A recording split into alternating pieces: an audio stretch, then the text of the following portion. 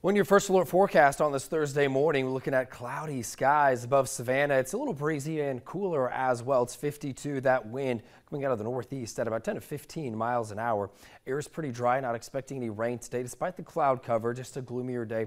Wind coming in from the north and the northeast. It is breezier along the coast. Wind gusts have already been near 20 miles an hour here today. A little weaker the wind as we go into our inland areas, but that's where it's cooler, bigger temperature difference, especially as you go into our western communities. Now the actual temperatures in the 40s from Bulloch County to Sylvania over to Vidalia and Baxley.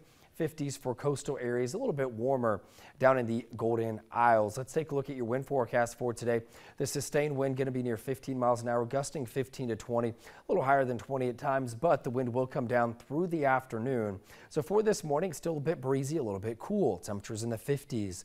For many of us, as we go through the next handful of hours, only going to have those highs in the upper 50s to lower 60s today as well. Again, during the daytime, rain chances just not there for us. So we're looking good during that afternoon commute. Temperatures holding strong there in the 50s through the evening. Now, this evening, we're going to keep it dry and cloudy. Overnight, could have a few isolated showers develop into the early morning hours of our Friday. We'll be watching for this scattered rain to come across the area as we go through our Friday. Coastal areas, a little bit better chance in the morning. Inland areas, more so in the afternoon.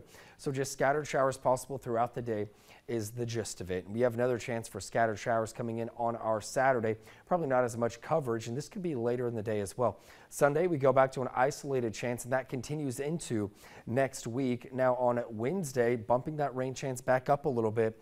It's going to be interesting to watch some Gulf moisture that's going to try to come our way. But again, that's about the middle of next week. As for your seven day forecast, we've got 60s today and tomorrow. Rain chances again going up on our Friday, lingering into the weekend, but probably don't need to change any weekend plans based on the current forecast. We've got consistent highs in the 70s as well. Heading into next week with those rain chances, probably going up a bit there by Wednesday. We've got more in your first alert forecast coming up and you can get it anytime in the WTOC weather app as well. More coming up after the break.